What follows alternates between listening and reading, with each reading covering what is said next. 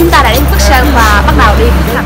Đoàn thanh niên công an các đơn vị cục cụm thi đua khối đồng bằng công an tỉnh Quảng Nam phối hợp với huyện đoàn Duy Xuyên tổ chức chiến dịch tình nguyện tiếp sức vùng cao năm 2019 tại Phố 1 xã Phước Thành, huyện Phước Sơn, tỉnh Quảng Nam.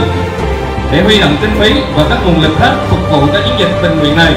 chúng tôi đã tổ chức chương trình văn nghệ gây quỹ tiếp sức vùng cao vào đêm ngày 12 tháng 7 năm 2019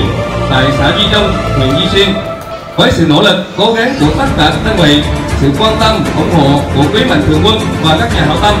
chúng tôi đã huy động được hơn 70 triệu đồng để phục vụ tổ chức các hoạt động tình nguyện tiến hành khám, tư vấn chữa bệnh và cấp phát thuốc miễn phí cho gần 3 năm bà con nhân dân thôn 1 xã Phước Thành.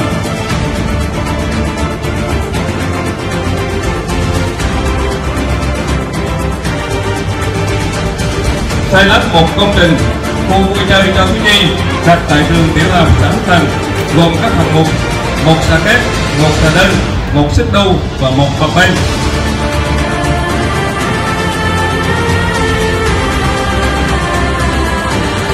Tổ chức cắt tóc miễn phí cho gần 200 bà con và các cháu thiếu nhi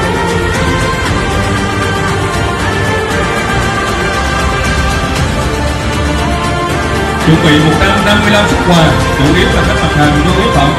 310 suất quần áo và dụng cụ học tập để trao tặng cho 155 hộ dân và các cháu học sinh. Chuyển giúp lời cảm ơn của ban tổ chức chiến dịch đánh quý mạnh thường quân, các nhà hảo tâm, các cơ quan, đơn vị, tổ chức, cá nhân đã quan tâm, chia sẻ, ủng hộ, đồng hành với chiến dịch tình nguyện của chúng ta. Chúng tôi cũng rất mong và luôn tin tưởng bà con nhân dân thôn một xã Phước Thành sẽ không cam chịu cảnh nghèo khó, cùng cực, quyết tâm vươn lên trong cuộc sống, thoát nghèo một cách bền vững.